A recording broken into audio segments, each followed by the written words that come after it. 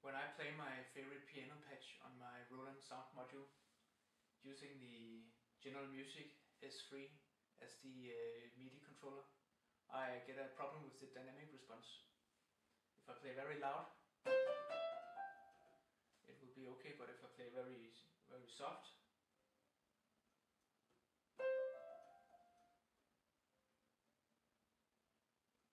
the, the sound will almost disappear.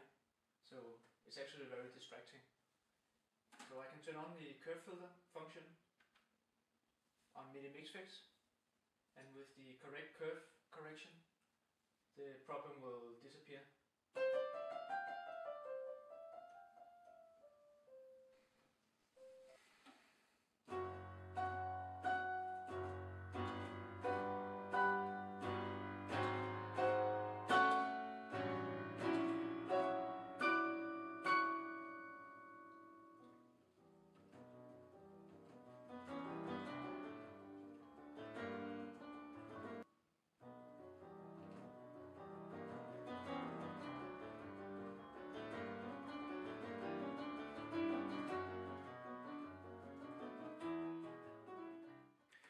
Also use the curve filter to make all sorts of weird transformations.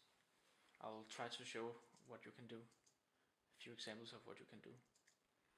So now I turned on one curve operating on the input 1 note on velocity and um, with these settings there will be no transformation.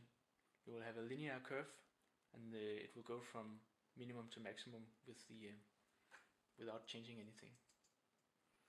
So I can I can change the curve to be like like this. No matter what I do now, I will I will have a um, the same velocity going out of the filter. The uh, the hard key presses will be the same as the uh, soft key presses.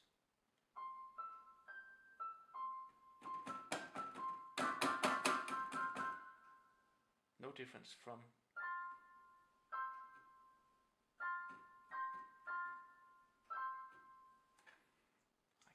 to to make this funny effect.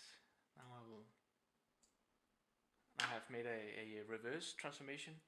So the hard key presses will be a, um, a weak velocity, a quiet velocity, and the soft key presses will be a loud velocity. I'll, play, I'll start playing a bit quiet.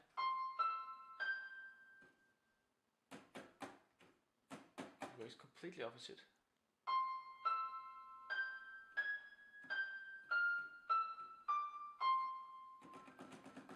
Not very fun to play like this. I have tried. And I can show you something else. Why don't we take two curve filters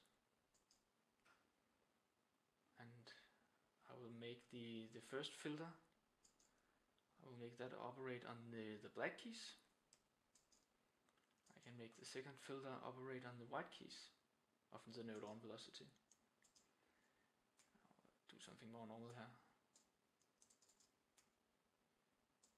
And um, let's say we want the black keys to be a lot more powerful than the white keys.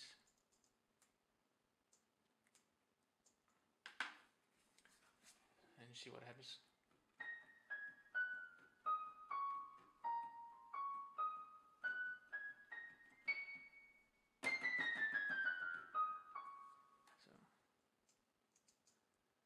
This is this can be quite use, useful if you are unhappy with the balance between the uh, white and the black keys.